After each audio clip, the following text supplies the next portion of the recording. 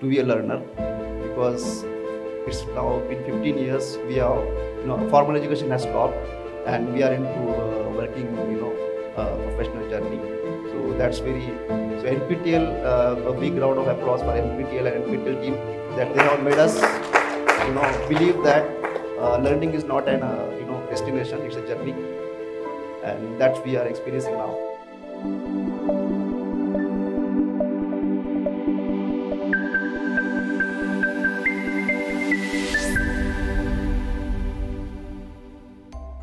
Uh, first of all, uh, I would like to introduce myself because all the previous speakers uh, or the you know uh, August members who has who has shared the experience all are from education industry primarily, uh, be it students or faculties, whatever they have done or they are doing, definitely a commendable job. Uh, I am here a man, odd man out because I am industry professional, so I am nowhere related to education industry. For us, it's very you know. Tedious and uh, difficult task to be on the you know on a motivation path to be a learner.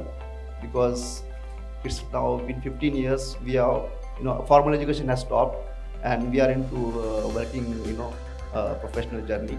So that's very so NPTEL uh, a big round of applause for NPTEL and NPTEL team that they have made us you know believe that uh, learning is not an uh, you know destination it's a journey and that we are experiencing now. So I'll, uh, you know, uh, I'm Santosh Mandal. I'm a working professional into uh, construction and building material industry.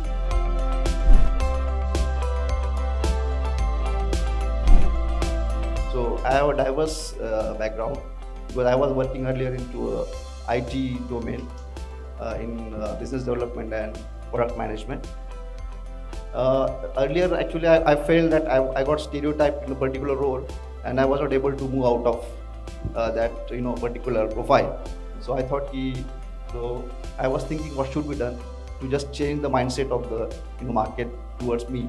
So and uh, in the uh, lockdown uh, period, I got to see uh, NPTEL, uh, one of my connect on the LinkedIn, displayed his achievement with regards to NPTEL certification.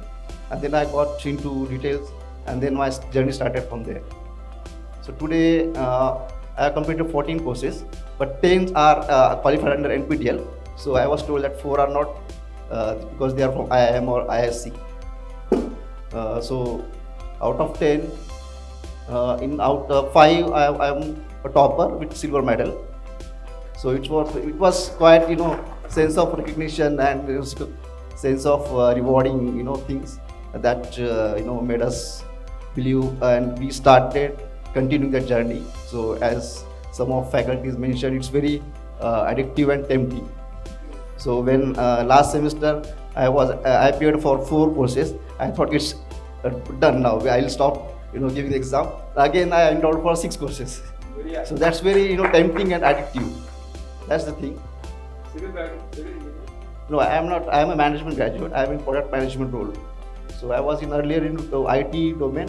Now I got into construction and uh, building material industry. So I got uh, diversified uh, courses done, like from uh, acoustic, building material, management.